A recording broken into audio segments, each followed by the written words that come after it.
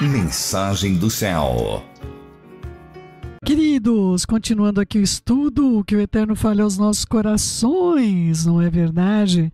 O Eterno fale aos nossos corações fortemente, em nome de Yeshua, Eterno, fala conosco, nós dependemos completamente da tua boa mão, que a tua bondade, a tua presença esteja sobre as nossas vidas, é o que nós te suplicamos, Bechem Yeshua Mashiach, que assim seja, assim seja. Assim seja, queridos. Então vamos lá, vamos lá é, sobre a questão que nós estamos tratando agora, onde Iove ele vai responder, gente. Olha isso, gente. Gente, como a gente faz uma coisa dessa, né? Nós temos que tomar muito cuidado quando a gente vai responder ao Pai, não é? Eu queria é, tratar com vocês um pouquinho acerca disso, não é?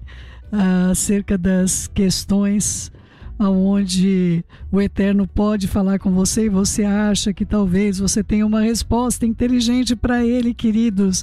Nós temos de tomar muito cuidado. Vamos ler agora aqui uh, o entendimento, o que que Iov estava fazendo que ele não deveria fazer.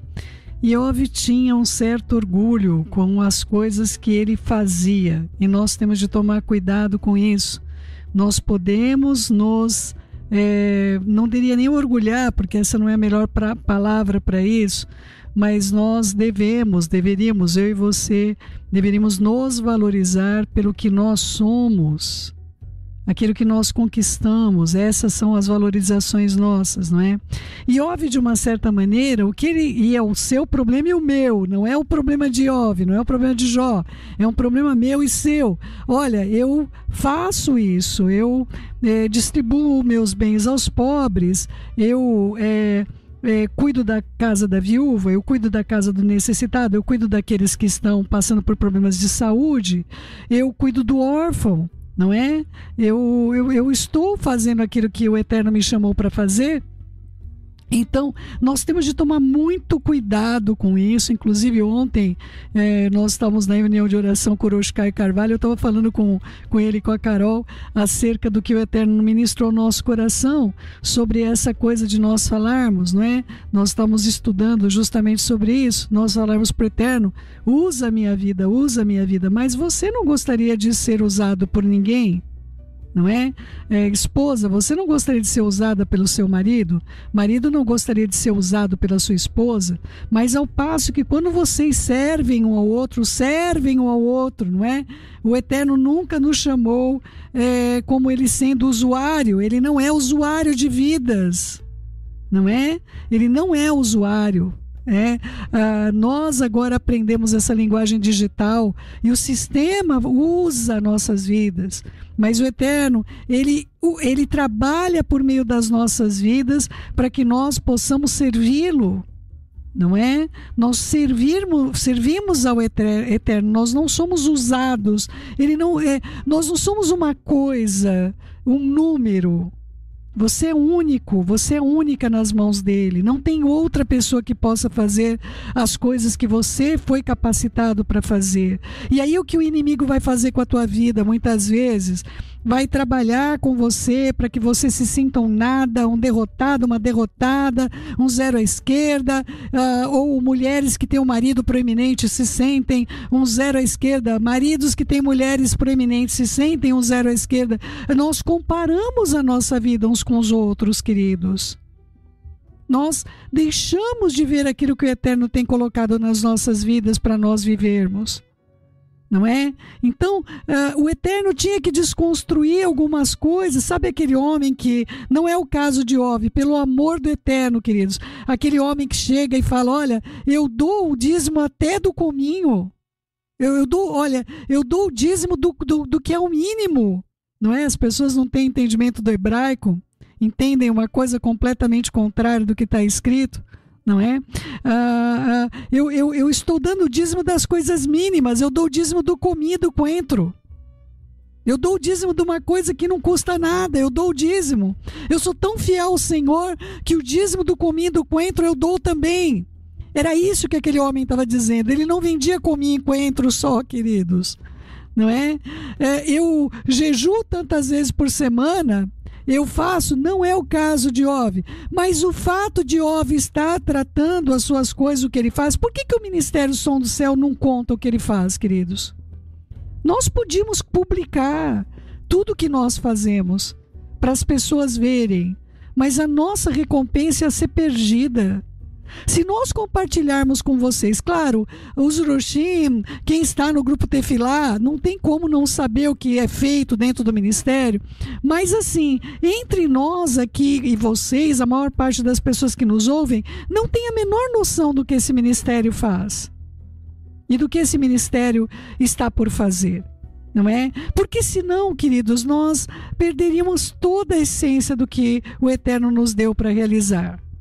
Vocês compreendem a diferença entre você ser um servo e você ser um utilitário? Entre o utilitário, ele não tem valor nenhum para o seu dono. É uma coisa, não é?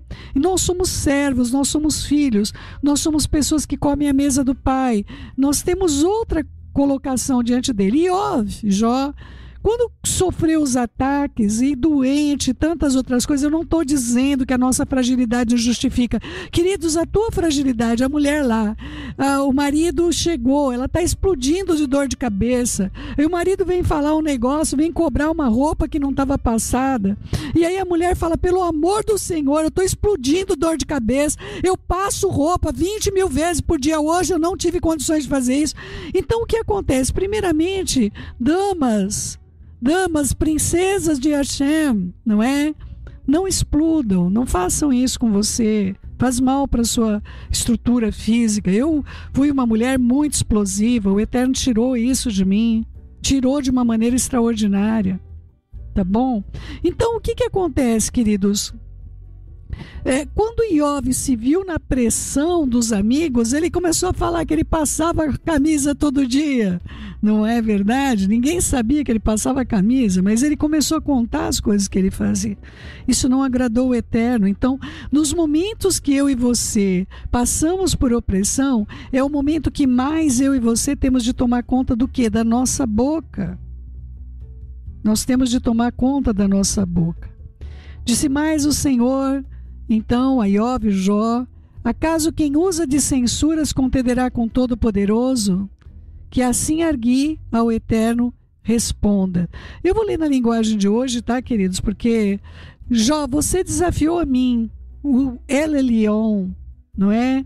O, o, o, o, você desafiou aquele que é o todo em poder, o El Shaddai, a revelação do Todo-Poderoso como amoroso. Vai desistir ou vai me dar uma resposta? Olha, Iob, você não queria tanto falar comigo, você queria estar na minha presença. Você, eu estou te compartilhando tudo isso. Eu estou te compartilhando que você não precisa ser uma cabra montesa, você não precisa ser é, ter um posicionamento aí é, de uma. De, eu não sou um pai avestruz. Eu estou te explicando tudo isso, mas você não tinha me chamado para falar com você? E agora você vai ficar quieto? Você vai desistir? Ou você vai me dar uma resposta? E Iov res resolve dar uma resposta. Ah, queridos, vamos lá. Iov errou em fazer isso de maneira nenhuma. Iov não queria perder o seu interlocutor, ele não queria perder a presença do Eterno. Uau, Senhor, não é? Muitas vezes nessa resposta a gente vê que quem apareceu ali foi Mashiach Yeshua. Pela maneira da reverência que ele presta em terceira pessoa, eh, nós compreendemos que estava ali uma que eles chamam dentro da teologia de teofania, ou seja, uma representação é, do Altíssimo. Então eu gostaria de trazer para você a resposta de Ov, que não passa de três versículos. Aquele homem que falou, falou, falou, agora tem três versículos para falar e vamos lá. Então Iov respondeu: O nome do sagrado Kadosh Baruch ele disse: Eu sou indigno de te. O que eu te responderia? Eu ponho mão na minha boca, olha, Senhor, eu, eu estou vendo, uau, quem o Senhor é. Eu não estou ligando muito mais para minha enfermidade, a perda dos meus filhos, não estou ligando para nada. Eu estou vendo uma porção da eternidade diante dos meus olhos. Eu não tenho nada para te falar, eu não tenho obras, eu não tenho absolutamente mais nada para colocar diante do Senhor. Eu vou pôr a mão na minha boca Eu falei uma vez, não vou replicar. Aliás, eu falei duas vezes, mas eu não vou. Duas vezes, ou seja, Iov vai colocar: olha, é, eu falei antes, não é? Mas como eu falei agora. é muito interessante a resposta dele, porque agora ele está medindo cada coisa que ele fala. Olha, eu falei, mas eu não vou replicar. Opa, peraí, mas eu, como eu falei de novo, então eu já falei duas vezes, mas eu não vou prosseguir falando. É, é, ele começa a medir cada coisa do seu falar. Então o Eterno continua. Então, o nome de Sagrado Kadosh Baruhu, no meio do redemoinho, então ele respondeu a Iov. Então eu quero que você agora se vista, coloque as suas roupas como homem, mesmo que a sua pele está cheia de, de é, sensibilidades, mas eu quero falar com você vestido, porque você é um homem vestido diante de mim, você estará vestido diante de mim, diz o Senhor. Não é? E eu te perguntarei e tu me responderás. Então, a, a tratativa do eterno, da educação do, do Altíssimo, sempre é por meio é, perguntas. O Eterno vai tratar com a minha vida e com a sua vida por meio de perguntas. Acaso anularás tu de fato o meu juízo? Não é? Acaso anularás tu de fato o meu juízo? Você vai cancelar ah, as minhas sentenças? Ou você então vai me condenar para se justificar? Olha só, o Eterno vai tratar acerca de algumas sentenças que foram colocadas. Eu acredito que essas sentenças ele vai trazer um pouco também de tudo que ele apresenteou à vida de Ov e também o modo que os filhos dele se portaram, que não era adequadamente à altura daquilo que o Eterno havia confiado nas mãos de Ov. Eu não creio que Ov deu educação desses filhos que ele vai gerar daqui para frente nessa história, como ele deu aos filhos da primeira parte, na primeira porção da história, porque a esposa faz toda a diferença também na educação dos filhos não é? é então, ah, ele coloca de uma certa maneira: você não sabe o que está envolvido nos juízos da perda dos seus filhos. Você não sabe se eles iriam se perder no caminho se eu não os tomasse. Você não sabe. Você não sabe o bem que eu estou procurando, não somente acerca da tua vida, mas acerca de todos eles. Você não sabe o que iria acontecer com os teus servos que foram mortos. Não, não me condene para justificar tuas ações. E muitas vezes, quando nós não recebemos do Eterno aquilo que nós gostaríamos, quando nós não temos dele aquilo que nós consideramos ser útil e importante para nossas vidas, nós acabamos por condená-lo. Nós indiretamente fazemos isso. Senhor, por quê? Por quê, Senhor? Por que, que o Senhor fez isso? Vou perguntar para você: qual é a nossa atitude com uma criança quando ela faz algo errado? Qual é a nossa atitude com as pessoas quando elas fazem algo errado contra nós? Qual é a pergunta que você tem quando alguém faz algo errado contra você? Por quê? Então, todas as vezes que nós fazemos isso com o Eterno, nós estamos considerando que ele fez algo errado contra nossas vidas. E Ove também queria saber por que aquelas coisas estavam acontecendo. Claramente ele não aceitava os desígnios do que haviam vi, havia vindo sobre a vida dele. Ou tens braço como o eterno, ou podes trovejar com a voz como ele faz. Olha, eh, se você quer comparar o teu juízo, o teu julgamento, com relação ao julgamento do Eterno, compare a tua voz com a voz dele. A tua voz, quando você fala, ela chega até onde? Claro que hoje nós temos é, conexões via rádio, via televisão, milhões, milhares de pessoas podem ouvir a voz de alguém, não é?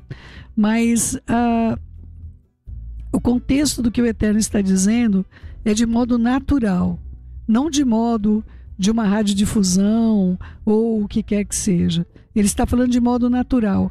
A voz dele, como um trovão, ela ecoa e ela causa tremor, ela causa muito tremor e temor. Assim como o juízo dele, o juízo dele, se a nossa voz pode trazer algum juízo, a voz dele traz um juízo em temor e tremor. É isso que ele está comparando. O braço dele, a destra dele, o que o filho dele pode fazer nas nossas vidas, não é? Orna-te, pois, de excelência e grandeza, veste-te de majestade e de glória. Derrama as torrentes da tua ira e atenta todo soberbo e abate-o. Então, é, a pessoa que está falando aqui percebe, ela não fala eu faço. Ele coloca o tempo todo o eterno faz. Por isso, muitos compreendem que aqui nós estamos com uma representação de Yeshua na representação da própria pessoa do Eterno, como uma pessoa que tem a procuração dele para representá-lo. Então, eu quero ler na linguagem de hoje esses versículos para ficar mais claro, é, por causa da excelência do que está escrito. Se você pode, então, vista-se de glória e da grandeza, enfeite-se com a majestade e esplendor. Olhe para todos os orgulhosos, faça explodir a sua raiva contra eles e humilhe-os não é? é sim, olhe para eles e humilhe-os. É, a colocação, na verdade, na linguagem de hoje não está como a ara, né, queridos? Por isso que às vezes a gente tem que pegar a ara, porque na verdade, quando o Eterno está tratando, ele está falando do que ele faz, da autoridade dele. Ele derrama torrentes de ira, ele atenta a todo soberbo e abate-o. Ele olha para todo soberbo e humilha-o e calca os pés do perverso no seu lugar. Eu gostaria de usar esse termo para vocês, esse termo que está no versículo 12. Calcar os pés só existe aqui no livro de Ov, não existe em nenhum lugar mais, nem na Torá, nem na Brit Hadashah, não existe em nenhum nenhum lugar mais. Essa palavra que por algum motivo calcar os pés, ela foi escrita em árabe. É interessante isso, não é? O termo calcar os pés é como se tivesse deixado para nós um recado de que viria alguma cultura que calcaria os pés não é, é, não em relação necessariamente à população árabe, muitos crentes, muitos salvos, mas eu creio que apontando aqui para o que hoje se tornou uma linha dura é, com relação ao Islã, não é? E, e nós vemos essa palavra calcar os pés no idioma árabe dentro do livro de Ov trazendo com clareza, como se fosse um sinal profético de coisas que adviriam de religiões futuras vindo sobre a terra, não é? E de que maneira isso tem atuado. Então, a riqueza, a grandeza que nós temos é, nas coisas que estão ocultas dentro das Escrituras quando nós podemos ter acesso a esses originais, quando nós podemos compreender esses originais, não é? Ah, dentro do hebraico, queridos, hoje existem algumas palavras em árabe, não é? Mas normalmente são palavras é, que fazem parte né, do, do cotidiano judaico, mas são palavras que são, por exemplo, não tem como você xingar em hebraico você não tem palavras de xingamento em hebraico. Então, ah, muitas vezes o judeu, quando quer usar alguma palavra é, que não seja de uma boa conotação, eles acabam tomando emprestado algumas palavras que são em árabe, não é? Mas neste caso aqui, o fato de ser justamente o calcar aos pés, calcar aos pés, essa palavra não, não se fala antes, e não se fala depois.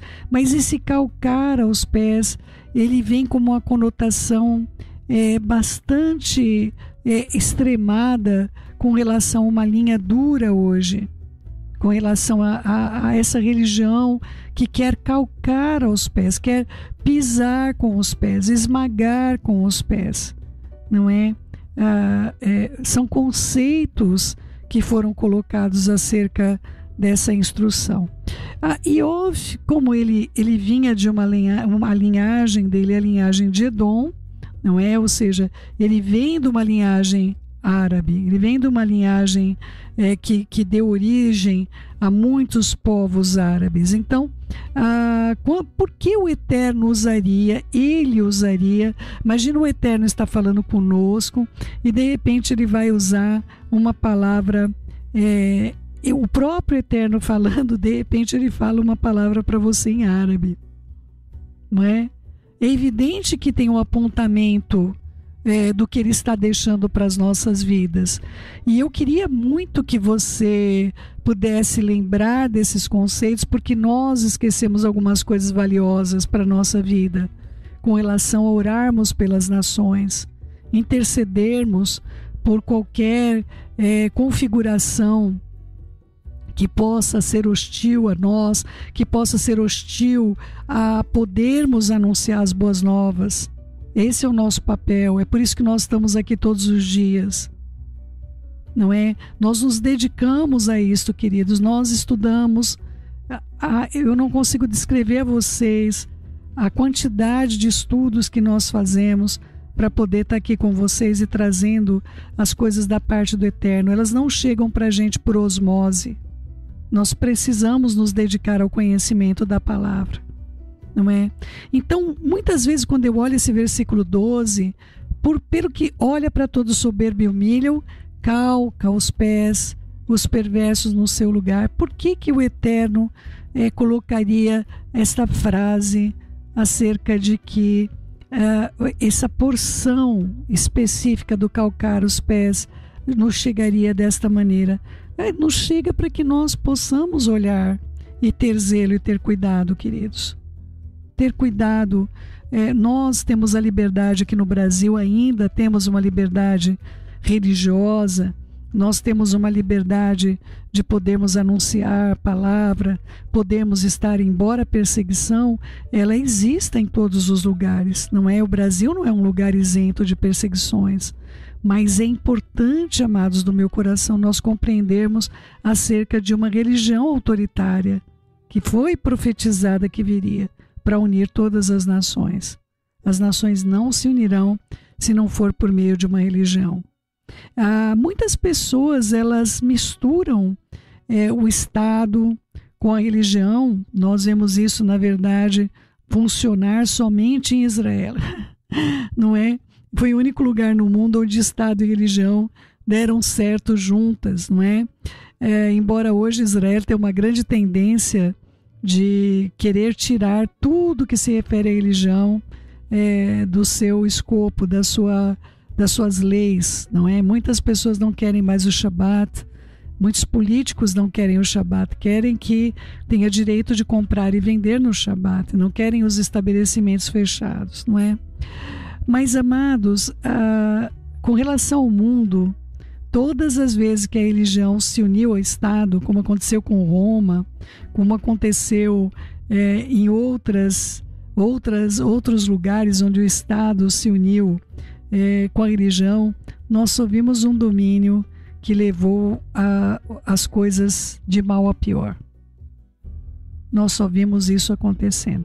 E agora, novamente, começou um movimento de querer unir o Estado no mundo inteiro o Estado com a religião, não é? E muitas pessoas veem isso como algo positivo, mas nós olhamos para esse calca os pés, os perversos no seu lugar, calca os pés, os perversos no seu lugar. Eu eu fico pensando por que que o Eterno falaria algo assim. E eu gostaria de trazer a você essa reflexão cobre-o juntamente no pó e encerra-lhe o rosto no sepulcro. Então também eu confessarei a teu respeito que a tua mão direita te dá a vitória, não é? Então eu, eu, eu acho tão interessante é, o Eterno falar no meio de uma repreensão com Ióvia, onde ele é, está apresentando é, coisas é, tão extremamente negativas e de repente ele fala: Olha, eu vou confessar ao teu respeito, não é? Que a tua destra, a tua destra te conquista a vitória, ou seja, Yeshua, o nosso Mashiach, aquele que, é, que veio, vive e reina para sempre. esse é aquele que nos traz a vitória. Ah, a partir daqui, o Eterno começa a falar acerca das, da criação novamente. E ele vai falar agora de resistência. Então, é, quando ele entra no, no. Ele tratou até aqui olha, você não é isso, você não é aquilo, eu não sou aquilo, não é? Não faça comparativos e nós fazemos continuamente. Eu e você, nós lamentavelmente vivemos nos comparando. Se você vê alguém receber um mérito que você era merecedor, você olha para aquela pessoa e fala: por que ele não eu? Por que ele não eu? É uma prática isso acontecer, não é? que nós possamos cada vez menos na nossa vida seguirmos nesse caminho comparativo que só traz mágoas. E hoje em dia, queridos, a concorrência, a palavra concorrência, não tem jeito de. É, se eu concorro, eu comparo. Eu comparo. E eu fico é, compreendendo, não é? Literalmente, o comparo é o com, o com, com isso eu paro. Eu paro, eu paro para ver. Olha, aquela pessoa tem isso, tem aquilo, ou eu estou dentro da companhia, eu tenho de. Nós temos pessoas aí que trabalham é, por uma métrica administrativa, não é? Então, se a pessoa faz tanto, ela vai receber um mérito, se ela faz menos, ela não vai receber. O nome daquele que faz mais vai parar lá o nome para todo mundo ver, ou tal pessoa fez mais. Então, esta concorrência, concorrência, ela vai trazer a comparação e nós podemos parar com este compasso. Nós podemos, por que para aquela pessoa isso e para mim nada? Por que aquela pessoa recebe isso e eu não recebo? Então, nós, nós precisamos ter muito cuidado quando, na verdade, é a mão do Eterno é que nos conduz em vitória. E nós temos tudo que nós precisamos ter hoje para nós sermos estáveis, para nós sermos confiantes e para nós termos shalom. Nós temos tudo que é necessário. E se nós não lançamos mão de tudo isso, é porque nós, hoje, não estamos usando tudo, todo o potencial que nós recebemos do Eterno para utilizar. Tá bom? Eu não tenho como seguir. Nós vamos dar uma paradinha aqui para vocês e a gente já já já volta com mais o som do céu para vocês. E eu espero que esse curso possa encher o seu coração de vida, de alegria e de esperança que o Eterno tem respostas e ele também tem perguntas para você, viu? Beijos no seu coração. A gente volta agora com o som do céu aqui. Disponibilizamos para você nosso WhatsApp 19 989 10 1395. Queridos, ajude o nosso canal. Lembre-se de inscrever-se, ativar o sininho, deixar seu joinha, todarabá também lembrando você, você pode ouvir os nossos programas aí na nossa página www.sondocel.com.br. Também estará lá o programa Kadosh, o programa Halel, outros programas aí na grade. E eu quero deixar à disposição de você o nosso endereço no SoundCloud. Você pode aproveitar no horário que você puder ouvir um programa de edificação que fale ao seu coração, ao seu espírito e eleve a sua alma. Eu também deixo para você nosso Instagram. Estamos lá no Instagram. Visite-nos, esteja conosco. E lembrando você, assine o Telegram, é onde nós estamos tendo o nosso maior ponto de comunicação com todos vocês. Quero agradecer a todos os nossos intercessores e também os mantenedores desse ministério. Sem você, nós não poderíamos estar aqui. Obrigada por tudo, Todarabá.